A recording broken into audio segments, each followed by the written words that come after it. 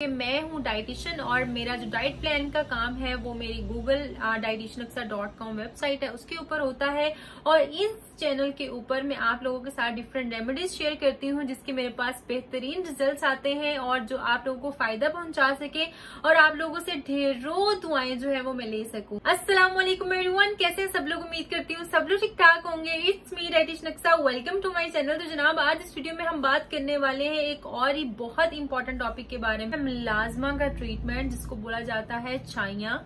और ये बहुत इश्यू होता है। आजकल तो भाई लड़कियों को भी है और लड़कियों क्यों होता है? अक्सर ये जो मैरिड लेडीज़ होती है ना, उनको ज़्यादा होता है। बट आजकल लड़कियों को भी ज़्यादा हो रहा है तो वो क्यों हो रहा है? वो भी हम बात करेंगे इस वीडियो में। और इसके साथ साथ ब्राउन स्पॉट्स जिसको पिगमेंटेशन भी बोलते हैं वो क्या है और मिलाजमा क्या है, ये दोनों डिफरेंट है, थोड़े से डिफरेंट है अंदर, वो मैं बताऊँगी इसमें दोनों में क्या डिफरेंस है। तो आप लोगों को खुद जज करना है कि आपको जो है वो मिलाजमा है, आपकी छाइया है या आपके पिगमेंटेशन है, ठीक है? ये दो बातें होगी और मिलाजमा होता क्या है? देखिए, मिलाजमा मैंने पिक्चर्स बकायदा रखे पिक्चर्स से आप लोगों को मैं शो करवाऊँगी। मिलाजमा जो छाइया होती है ना, वो ये होती है, ठीक है? आप लोगों को नज़र आ रही है, ये चीज़ होती है छाइया। ये देखें। ठीक है? ये इसके साथ साथ जो है, ये हाइपर पिगमेंटेशन भी इसके साथ और छाइया भी है। ठीक है? ये आप लोग डार्क पैची एरिया देख रहे हैं ना? अच्छा पिगमेंटेशन क्या होती है? पिगमेंटेशन हमारे इंटरनल हमारा काम नहीं होता है। वो ये होता है कि हमें सूरज की रोशनी से हम वो एक्सपोजर ज़्यादा होता है, सूरज की रोशनी में ज़्यादा हम लोग जाते हैं या हीट में ज़्यादा जाते हैं। हम लोग सन ब्लॉक या सनस्क्रीन यूज़ नहीं करते हैं। इस वजह से हमें पिगमेंटेशन का प्रॉब्लम होता है या ब्राउन स्पॉट्स का होता है। तो इसमें वो आप लोगों को अपनी सनस्क्रीन अच्छी करनी चाहिए है और इसके साथ साथ जो अपना सन एक्सपोजर है वो कम करना चाहिए और साथ पानी का इंटेक भरपूर करना चाहिए वाइटामिन सी का इंटेक ज़्यादा करना चाहिए ताकि आप लोगों को ये वाला इश्यू खत्म हो। ये हो जाता है हल, ठीक है? और अब हम लोग बात करेंगे ये होता क्यों है। देखिए स्किन के अंदर हमारे जो सेल्स होते हैं मेलानिन पिगमेंट होता है, जब वो इंक्रीज हो जाता है तो हमारे ये brown spots patchy skin dark spots और हमारे जो है ये इश्यूज़ आना शुरू हो जाते हैं। अब जो मिलाजमा है ना, वो जब वुमेन प्रेग्नेंट होती है, उसमें ऑब्वियसली बहुत सारे उसकी बॉडी के अंदर चेंजेस आ रहे होते हैं। तो अक्सर औरतों को छाइयों का प्रॉब्लम यहाँ पे प्रेगनेंसी के बाद, यहाँ पे और यहाँ पे अक्सर रहता है। आप लोगों की मदर्स को भी होगा और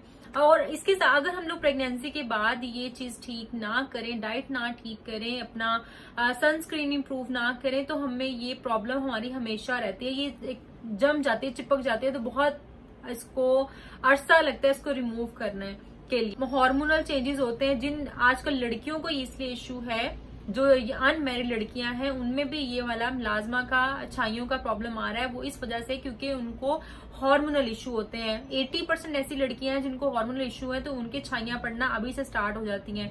थर्ड रीजन ये होती है ड्राई स्किन होती है, पानी का इंटेक हमारा ज़्यादा नहीं होता है तो वो ड्राइनेस की वजह से डेड स्किन सेल जो है वो भटते जाते हैं अंदर, और वो क्या होता है, वो हमारे छाई पड़ जाती है वहाँ पे।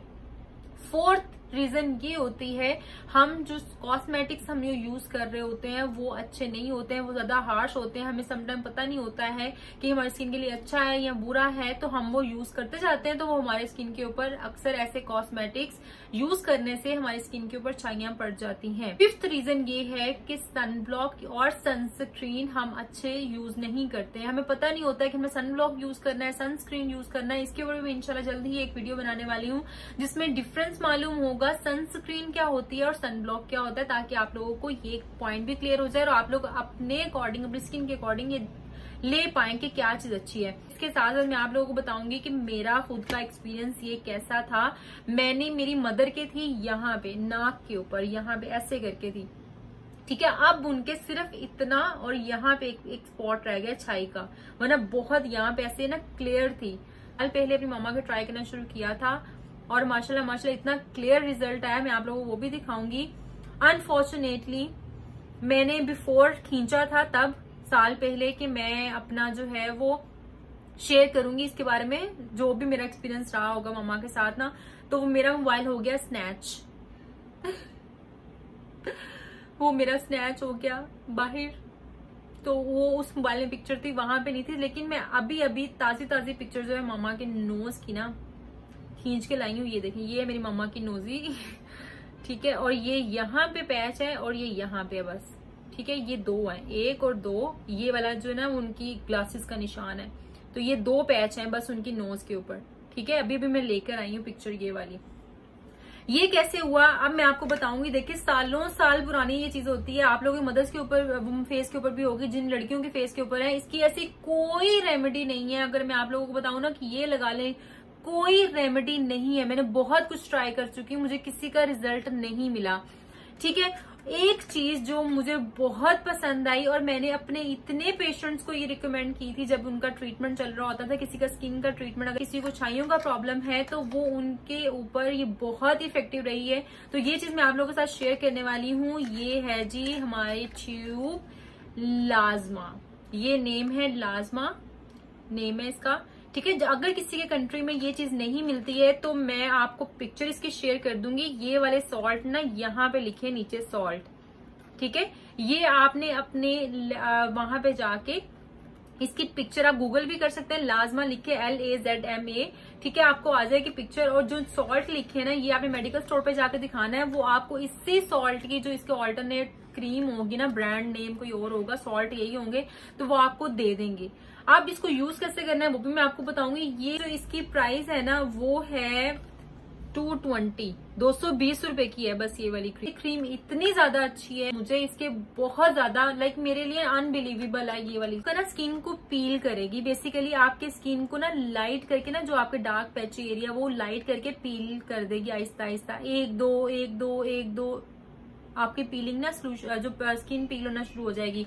हाँ आपने पहले स्टार्टिंग में अगर आपकी स्किन सेंसिटिव है तो आप लोगों ने थोड़ी सी क्वांटिटी लेनी है, ठीक है? फॉर एग्ज़ाम्पल अगर आपके नोज़ पे है ना, आपकी मदर के नोज़ पे है तो आपने सिर्फ़ ऐसे लेप करनी है, ठीक है? ये देखिए, ये लेप किया। इसको आपने 10 मिनट रखना है स्टार्ट में। 10 मिनट रखे आपने वॉश कर देना स्टार्टिंग डे में। स्टार्टिंग में आपने थ्री डेज़ तक आपने लेप करना है 10 मिनट रखना है और रिमूव ठीक है? इतना आपने बस इससे ज़्यादा टाइम नहीं देना है इसको ये वाली क्रीम को। इसके बाद आप लोगों ने क्या करना है जब थ्री डेज़ आपके गुजर जाएँगे आप लोगों ने इसका टाइम पीरियड दो घंटे रख देना है। ठीक है? आहिस्ता ग्रेजुअली ग्रेजुअली आपने उन्हें इंक्रीज करना है दो घंटे रख देना है। दो घंटे के बाद जब आपने थ्री डेज़ देख लेना आपको कोई इफ़ेक्ट नहीं हुआ इससे लाइक कोई आपके आ, वो इचिंग नहीं हो रही है या कुछ ऐसा नहीं हुआ है तो आपने इसको रात भर आपने लेप करके आपकी छाई के ऊपर जहाँ पे भी है यहाँ पे आपकी चाय के ऊपर जो है आपने लेप करके इसको अच्छे से मसाज करके ऐसे ऐसे थोड़ा सा आप उसको एब्जॉर्ब कर दें, बस थोड़ा सा। नज़र आनी चाहिए क्रीम लगी हुई है, लेकिन थोड़ा सा एब्जॉर्ब कर दें, ठीक है? ऐसे आपने लेप करके ना आपने सो जाना है बस।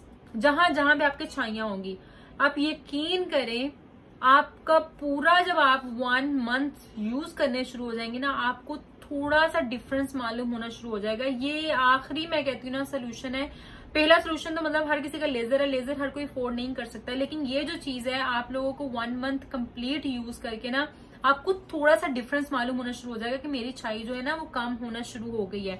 फिर आप इसको कंटिन्यूसली आप यूज़ कर सकते हैं अंटिल जब आप तक अंटिल आपकी छाई जो है वो खत्म हो जाए। मेरी मदर के बहुत डार्क थी, ऐसे करके, काश काश मैं आप लोगों को वो पिक्चर दिखा सकती।